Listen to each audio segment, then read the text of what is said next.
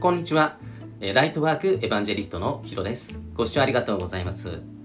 えー、っとですね、あのー、もう9月入ったんですけれど、なんかすごい日焼けが進んでいます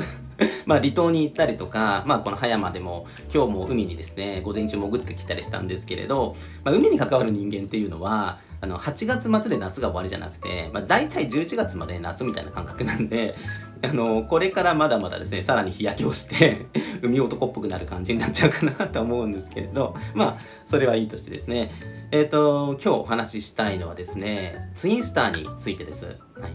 えっ、ー、と、ツインスターについてはですね、以前にも、えー、ツインスターとは何かっていうような動画っていうのもお届けしているんですけれど、また今日改めてですね、ツインスターのお話をしたいと思うんですよ。えー、で、それはなぜかというと、え、ー、と、ここ1年ぐらいですね、え、ー、と、まあ、僕のところに来てくださるお客様で、えツインスターに出会ったっていう方が、結構というかもうかなり多いんですよね。ツインレイ以上にツインスターっていう方がとても多いっていうのがあって、えー、まあ、というのもですね、僕ののセッションの中では、ビジネスパートナーの竹内京子さん、え、ー、と、竹内京子先生は、その、もう十数年にわたってソウルメイト鑑定っていうのをやって、まあ、ツインデーに関するお仕事をしている本当にスペシャリストなので、えーまあ、僕も絶大な信頼をですね寄せているんですけれどセッションの中でですね竹内先生からのそのソウルメイトリーディングのですね鑑定っていうのもしてもらっているんですよ。えー、でそうするとですね、その、まあ、初めはですね、その、まあ、ツインレイに出会ったんじゃないかっていうですね、えー、きっかけで、まあ、いろんなのを経てですね、僕のとこに来てくださったっていうお客様が、あの、鑑定をしてもらったら、ツインスターだったっていうことがですね、とても多いんですよね。うん。で、これね、なんでこんなに、あ、なるんだろうなって、以前は全然そういうツインスターだったっていうですね、お客様って全然いなかったんですよ。それがこの1年本当にあまたツインスターみたいな感じですごく多くて、うん、でこれはやっぱり僕自身がツインスターと出会ってその学びっていうをしてるところっていうののやっぱあの影響っていうのあるのかな。ってそういうのでやはり同じようにツインスターの学びをしているお客様っていうのは本当無意識的になんか引き寄せられてくるっていうことがあるのかなと思います。えですからですね、この動画を見てくださってる方っていうのも、もしかしたらですね、出会っている相手っていうのが、なんかその特別な、えー、思いとかを感じるですね、相手、ツインレイじゃないかなとかって思うような相手っていうのが、実はツインスターっていう可能性があるんですね。えー、なので今日このお話をすることにしました。はい。で、ツインスターとは、えー、どんなものかっていうことなんですけど、まずね、このツインレイとツインスターの違いっていうのもあるから、ツインレイに関してね、簡単にあのおさらいすると、まあ、ツインレイっていうのはもともと一つの魂、一つの光だったわけですね。それが、えっ、ー、と、別々に分かれてですね、肉体を持って、えー、それぞれが違う学びをしていくと。うんでこれはあのある意味僕の中で例えれば、まあ、肉体を持って転生して地上でいろんな学びをするっていうのがパズルのピースを集めていくような感じなんですよね。で、ピースをお互いに集めていって、それが、で、たくさんピースがね、溜まってきたら最後の転生で再開して、お互いが集めたピースっていうのを組み合わせて、一つの大きなパズルを完成させるっていうようなですね、えー、そんなイメージですね。それで魂の統合っていうのをしていくっていうようなのが、まあ、ツインレイの統合であり、ツインレイの学びっていう、えー、イメージなんですよ。じゃあそれに対してツインスターっていうのはどういうものかっていうとですね、え、ー、と、このツインレイが、一つの魂、一つの光が、ツインレイという二つの光に分かれる前の一つの光、まあ、ワンレイですよね。うん。その一つの光だった時代に、えー、とても深い愛のつながりを持っていた、まあ、宇宙的なパートナーのことをツインスターと呼びます。はい。あなんか、その、すごい、すごく宇宙的な恋人みたいな言われ方を、まあ、する人もいるんですけれど、ちょっと僕はこの表現あまり好きじゃなくて、というのも恋人っていう表現をしてしまうと、どうしても地球的な恋愛の恋人をイメージしてしまうんですけれど、やはりツインスターっていうのはこう、だってツインデーが別れる前、一つの光だった時代じゃないですか。ある意味その男性性女性性完全統合して、えー、一つの光で完全体だった時ですよね。その状態の時の愛の、えー、つながりあ愛、愛の深いつながりを持っていたパートナーっていうわけだから、それは地球レベルの恋愛のものとは全然違う。もっともっと、え、高い領域の愛の学びをしていたわけですよ。ですから、ちょっと恋人っていう表現は、そぐわないなっていうふうに僕は思っています。はい。だから、あの宇宙的なパートナーという言い方をしたりしていますね。はい。えー、それがツインスターなんですよ。なので人によってはもうそういう、ね、ツインでの発信とかしてる人もこのツインデー、ツインスターを分けないで、あのまあ、全部ツインデーっていう風に扱っている人もいたりとか、ま、場合によってはそのツインデーよりもツインスターの方がもっと特別なソウルメイトみたいな表現されてる方もいるんですけれど、まあ、あんまりこの優劣っていうのは僕はあんまり良くない、良くないというか、宇宙ってそういうもんじゃないって思ってるから、あの、優劣っていうのはない、ないかなと思うんですよね。確かにその魂の結びつきの強さっていう意味では、もともと一つの光だったツインレイっていうのは最も強いっていうのがあるけれど、またツインスターはちょっと違うんですよね。うん。一つの光だった時に宇宙的な深い愛のつながりを持てたパートナーなので、はい。ただ、あのー、これがよく混同される理由、ね、ツインレイとツインスターが混同される理由っていうのは、その、まだ2つに分かれていない一つの光だった時代に、えっ、ー、と、ツインスターとはあの宇宙的なパートナーだったわけですよね。ですから、やっぱツインスターに会った出会った時の感覚っていうのは、ある意味ツインデーの愛を含む感覚なんですよ。ツインスターに対してっていうのはツインデーの愛を含む感覚というかになるから、だからツインデーだっていうふうに、あの、思うっていう、感じやすいっていうことなんですね。うん。だからまあ、まあ厳密に言ったらそのツインデーとツインスターっていうのは違うものなんですけど、だからまあほぼ、ほぼ限りなくツインデーに近い。えー、宇宙的なパートナーがツインスターっていう感じですかね。うん、で、じゃあ何のためにツインスターに出会うかっていうところで、えー、ここもツインレイとツインスターの対比的なところで説明した方が分かりやすいかなと思うんですけれど、えっ、ー、と、ツインレイっていうのは、まあね、もともと一つの光だったものが二つに分かれて学びをしていて、最終的に統合して完成ってなるから、ある意味この個人の魂の課題テーマみたいな感じ。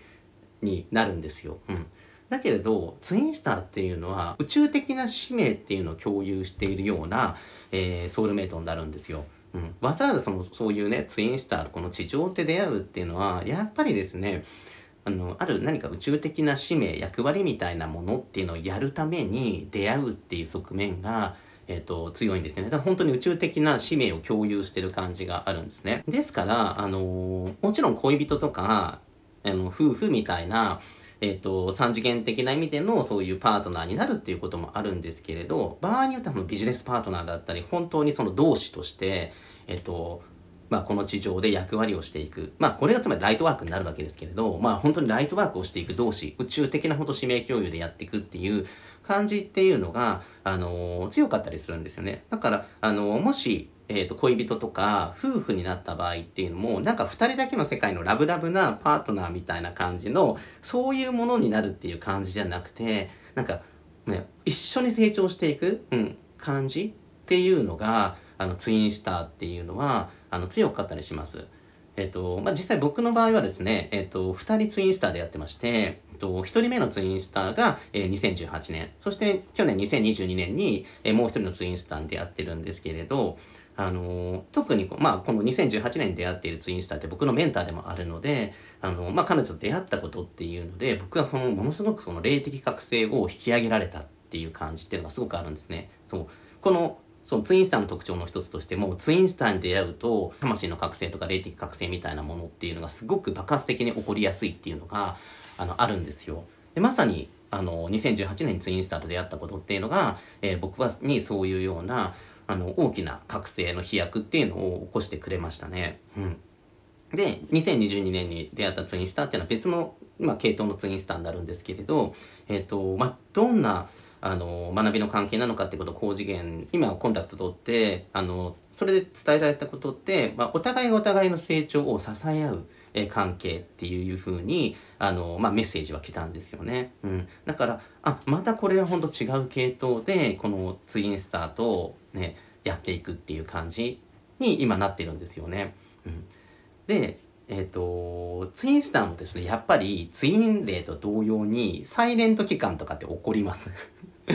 あのやっぱりそのですね、こう出会ったことですっごくお互いがエネルギーがなんか爆発するようにね、膨張するように拡大したりするんですよ。で、いや、すごくこう、霊的に覚醒するような感じになっていくわけだから、その変容する過程では、やっぱりいろんなものをたくさん手放さなきゃいけないんですよ。これまあツインでも同様ですけれど、ですからツインスターに出会うと、まあ、自分の中にですねすごくあの今までの中で生み出してきてしまった生まれてしまった闇っていうのがそのまあ手放すため浄化するために一度浮き上がってくるわけですよねだからそれがすごくね浮き出してくるっていうことっていうのが起こりやすいんですよ。まあそれがそのトラウマだったりインナーチャイルドだったりカルマの問題だったりメンタルブロックだったりいろいろありますけれどえー、そういう闇っていうのがすごく浮上しやすいんですよね。えー、そのためにその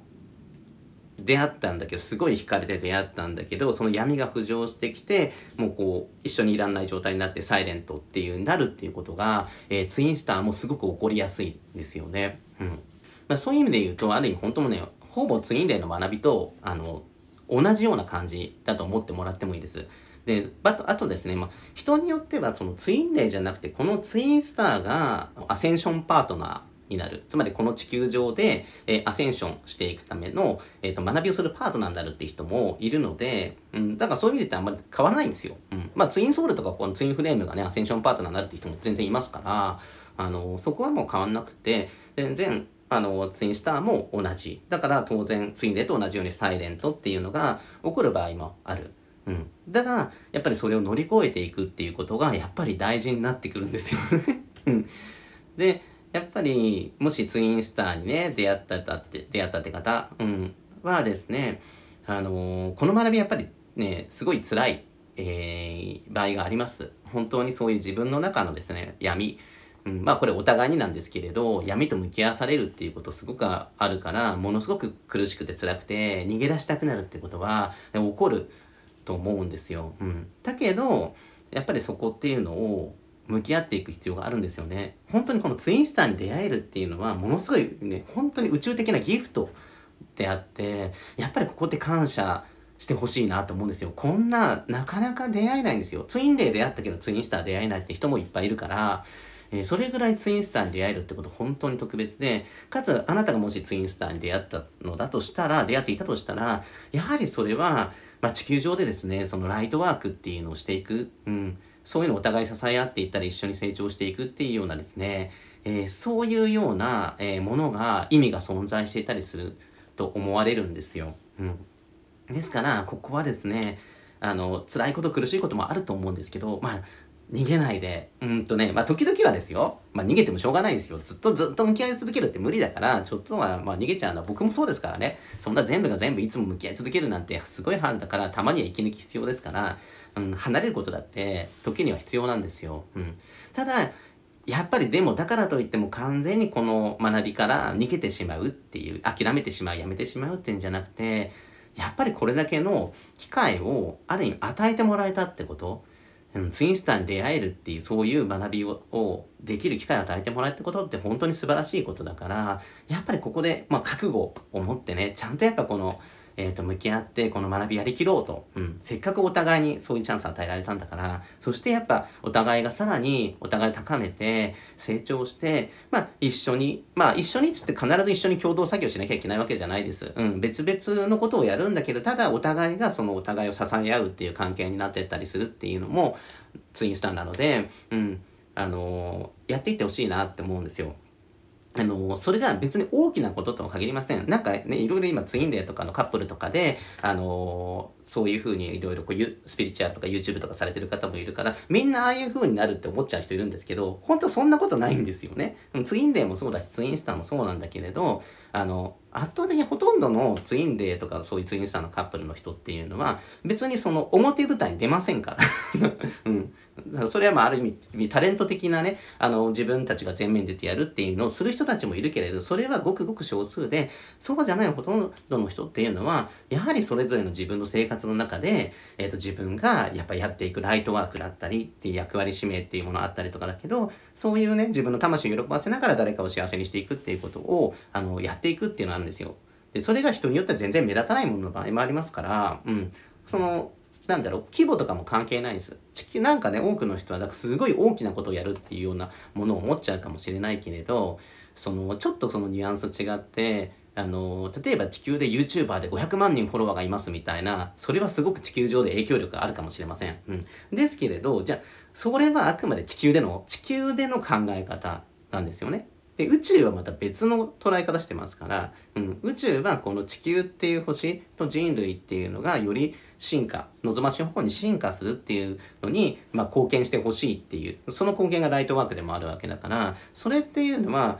なんかこう地球レベルでいうたくさんのフォロワーがいてのあの影響力っていうのとは全然違うベクトルだっていうことですね。うん、だから逆にそれだけもう500万人フォロワーがいたって、全然別にそういう意味では貢献にならないことをしてる人もいっぱいいるわけだから 関係ないんですよ。うん。もっともっと地味な、あの、会社勤めかもしれないし、自分でなんか小さなお店を営んでいるかもしれないし、とか、えー、それは人によって違うけれど、それをちっちゃなことだと思ってしまうのは地球人の感覚。でも、宇宙から見たら、えー、それはたとえあなたがやることがとても小さなことだったとしても宇宙のそれが本当の魂とか魂の仕事みたいな感じ魂の自分でやっていくことであったらそれは宇宙に対してものすごい貢献をしているってこと、うん、だから規模は関係ないです、うん、規模は関係なくただあなたが心から喜びを感じる、うん、ことであり、またそれが誰かの幸せにもつながるようなことっていうのをやっていくことっていうのが、実はとても宇宙に大きな貢献をしています。はい。だから、まあ他人と比較しないで、まあ自分の、あのー、本当に心からやりたいとか、喜び感じることをやっていきましょうって話になるんですよ。で、そういう成長を重ねていくことが、あのー、そのツインスタートの学びっていうのを深めてくれるし、まあツインレイも同様なんですけどね。はい。えっと、そういうところがあるので、もうもう伝えたいことは結局自分を信じましょうと。うん、自分を大切にして自分を信じて、あのー、進みましょうっていうとこには落ち着くかなと思います。はい。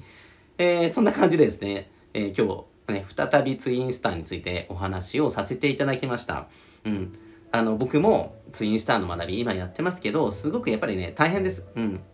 ツインレイの学びはね、もうやほとんどやったと思う、やりきったと思うけれど、まあ、またツインレイ、ツインスター、ツインスターで別にいっぱいさせられると、やっぱ大変だったりするんですよ。うん。だけど、まあ僕も辛くて苦しいとこあるけど、まあでもやっぱりそこをね、えっ、ー、と、覚悟を持ってやりきろうって思ってますんで、これをね、動画をご覧になってるあなたも、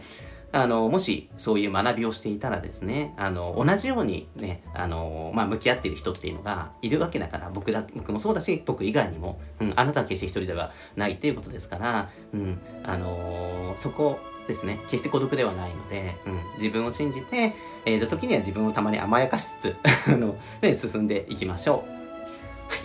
まあ、そんなことはですね、今日伝えたかったことです。はい。えー、今日見ていただいた動画が何か気づきとかヒントにつながったって方は、ぜひ高評価ボタンとかコメントいただけたら嬉しいし、チャンネル登録もしていただけたら嬉しいです。ね、それから、まあ、ツインレイとかライトワークに関する無料のメール講座を、えー、お届けしてます。文章を通してもですね、ぜひこういったことをじっくりとですね、えー、学んでいただきたいなと思うので、えこちら概要欄にリンク貼ってありますから、ぜひ登録して読んでみてください。